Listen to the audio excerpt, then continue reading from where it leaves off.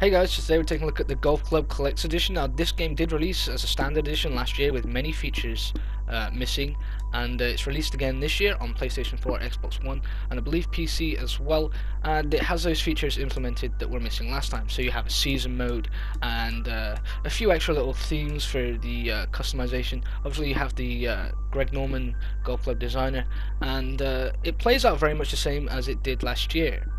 So in the golf club, uh, there's not much customization options when it comes to your character, and there isn't really a progression sense throughout the game. Sadly, it is very much a rinse and repeat until you perfect uh, how you play the golf that makes the game what it is. And uh, this can be kind of challenging for players and unnerving, but otherwise it's actually pretty decent.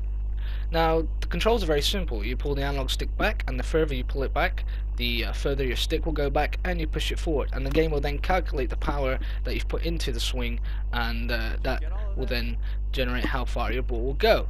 And to be honest, it's a really neat little feature. If you want to tilt the ball to the right, you'll push the analog stick to the right. If you want to tilt it to the left, push the analog stick to the left when you're uh, pushing forward. And uh, it, this works really, really well. And the game definitely steps into simulation ground rather than just a standard arcade game.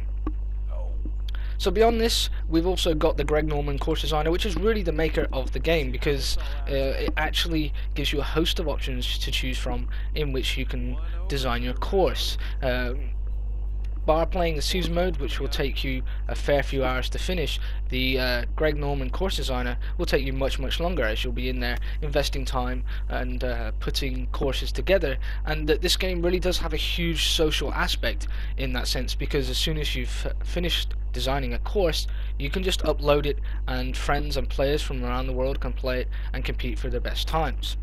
So the game's pretty solid, to be honest with you. Graphically, it's nothing uh, spectacular. It looks decent, but it doesn't look overly fantastic.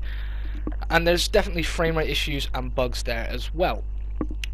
But what you do get is a great simulation golf game, and it is on par, if not slightly better, in the simulation category than Tiger Woods ever was. And to be honest, um, it is really fun to play.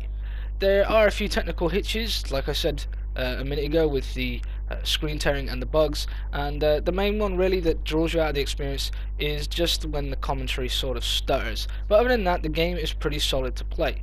So overall this game gets a 7 out of 10 and if you want to check out the written review head over to gamerheadlines.com as that will be posted there shortly. And uh, that'll give you more of an insight of what I thought of the game. But overall it's a fantastic title and definitely recommended for golf lovers and sports lovers alike as always, like, comment and subscribe, and I shall see you soon with another review guys. Cheers.